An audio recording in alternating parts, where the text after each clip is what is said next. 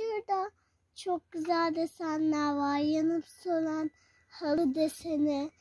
Arkadaşlar burası çok güzel. Şimdi dışarı çıkacağım. Burayı sen mi yaptın? Evet. O kadar da uğraş verdim. Ama bir sürü günde.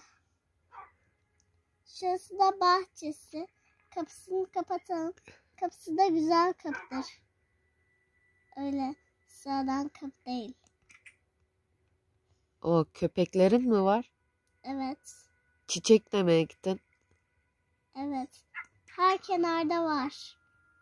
Ve şurada küçük küçük denizim bile var. Havuz mu yaptın?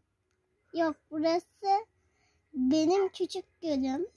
Evet. Yakında sauna bile yaparım veya havuz bile yaparım bu villaya. Bu kadar mı? Evet.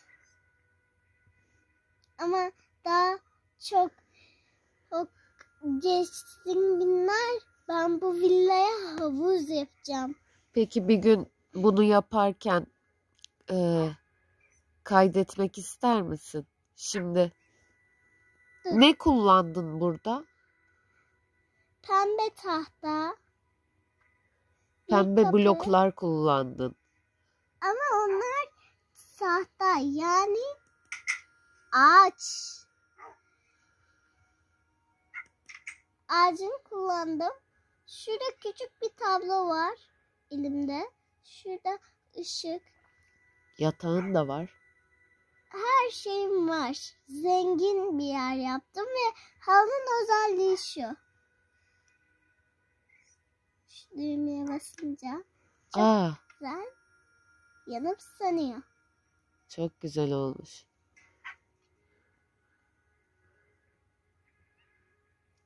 Hop.